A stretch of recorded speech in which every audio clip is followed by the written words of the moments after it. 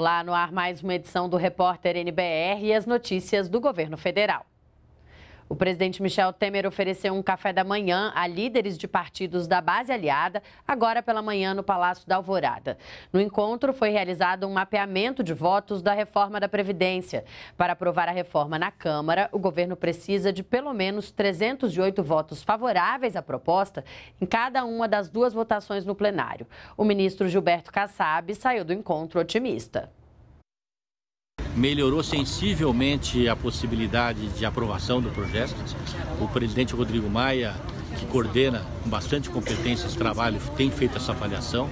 Na nossa bancada, aumentou o número de parlamentares convencidos da importância da aprovação desse projeto, que não é apenas a reforma da Previdência. Na verdade, está se combatendo com esse projeto privilégios e, mais do que isso, garantindo a aposentadoria dos brasileiros. É importante que todos saibam que, em pouco tempo, se não tivermos a reforma da Previdência, ela vai quebrar. Nós não teremos recursos para pagar nenhuma aposentadoria de nenhum brasileiro.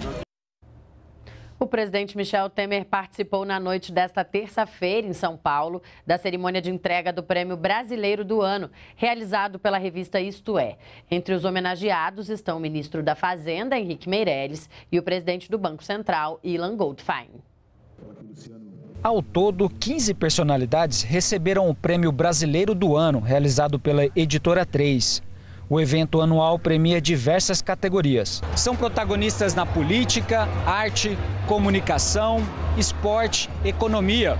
O prêmio é um reconhecimento pela colaboração desses brasileiros na construção de um país melhor. Nesta edição, o prêmio de brasileiro do ano ficou com o juiz Sérgio Moro e a equipe econômica do governo ganhou destaque. Ilan Goldfein, presidente do Banco Central, foi homenageado como empreendedor do ano. Na categoria Economia, o prêmio foi entregue pelo presidente Michel Temer ao ministro da Fazenda Henrique Meirelles. O ministro destacou os avanços conquistados pelo governo e disse que os desafios ainda são grandes. Um investimento que reflete a confiança dos consumidores, do mercado, dos empresários, voltou a crescer depois de 15 trimestres seguidos de queda.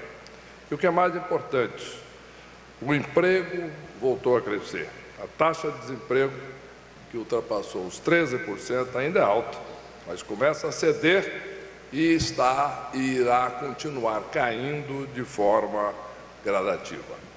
Nós teremos o melhor Natal em muitos anos, graças à retomada da economia e da confiança. O ministro da Secretaria-Geral da Presidência da República, Moreira Franco, avaliou que a recuperação da capacidade de investimento pelo país motivou o reconhecimento de parte da equipe do governo. Há uma consciência de que nós colocamos o Brasil nos trilhos que a recessão está ficando para trás, os indicadores macroeconômicos são extremamente positivos, o que nos permite a olhar o futuro do Brasil com muito mais confiança. E manifestações como essa de reconhecimento a esse esforço só amplia a confiança que eh, nós todos devemos ter no futuro.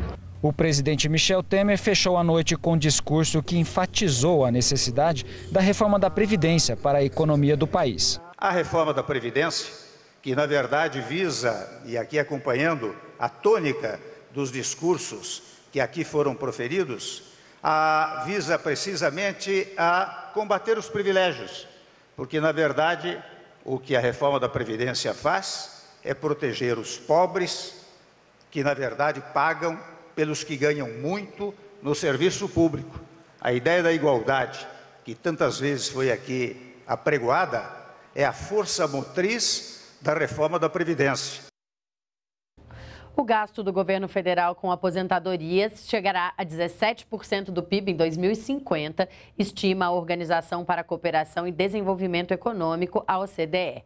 É a maior taxa entre os países do G20, que representa as principais economias do mundo. Os números estão em um documento divulgado pela organização esta semana, com a comparação dos gastos previdenciários em 43 países.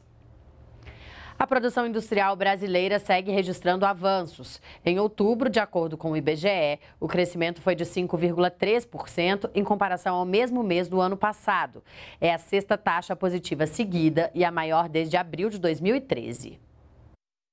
O resultado foi influenciado principalmente por uma maior fabricação de automotores, reboques e carrocerias, que juntos tiveram alta de mais de 27%. Outras áreas também contribuíram para essa alta, como os equipamentos de informática, produtos eletrônicos e óticos, com 22%, a fabricação de imóveis, com mais de 17%, a produção de artigos do vestuário e acessórios, com quase 12%, entre outros. Nas comparações que envolvem o ano de 2017 contra 2016, o setor de veículos automotores é o que mais se destaca, com reflexo importante sobre a produção de bens de consumo duráveis e bens de capital.